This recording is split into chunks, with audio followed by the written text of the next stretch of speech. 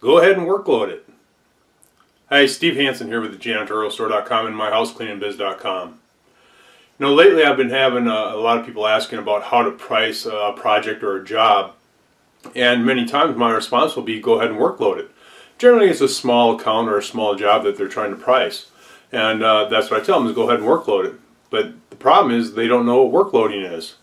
Uh, workloading is where you would uh, list the, the tasks that you're going to perform and generally you know what's going to happen is that your client's going to come to you and ask you to do some additional work uh, uh, you know on a current uh, on a current account that you're that you're already doing and or somebody will come to you and ask you for a price on uh, you know on their small account. Well many times you can just go ahead and workload it. So list the tasks that want that they want uh, to have done and then associate a time with that task. So here's what I mean so let's say we've got a job that the person wants us to trash, uh, do some dusting and vacuuming and cleaning some restrooms. So in that case, what we would do is we'd look at the trashing and we'd estimate how long it's going to take us to do that. So let's say it's 10 minutes. Then let's say we're our dusting, when we look at our dusting, we're going to estimate it's 20 minutes for that task.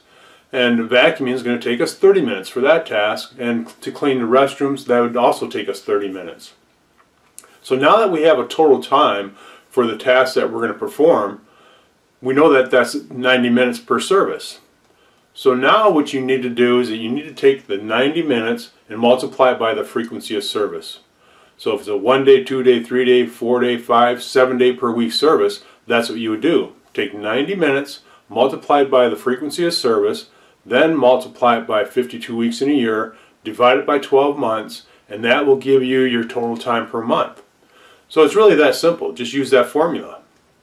So now let's say we have a total, uh, total hours of 100, 125 hours per month to perform these tasks.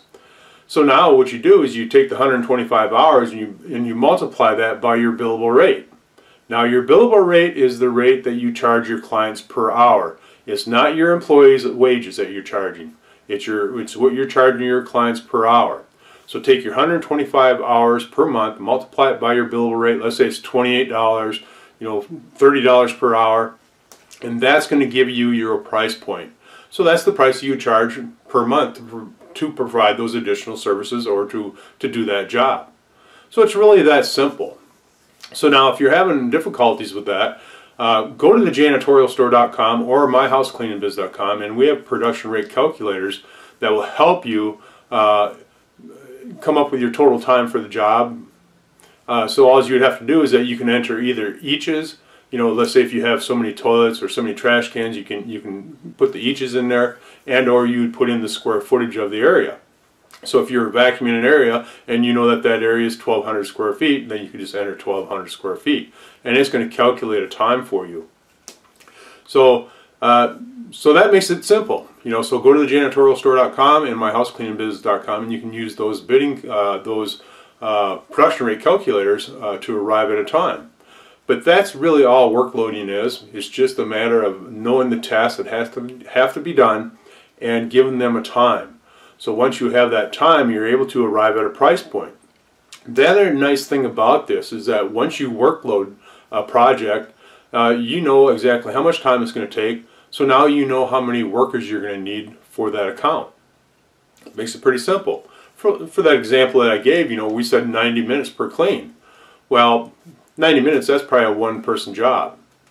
So we know we know from that uh, that we can put in one person at the account or for that job and we'll be fine.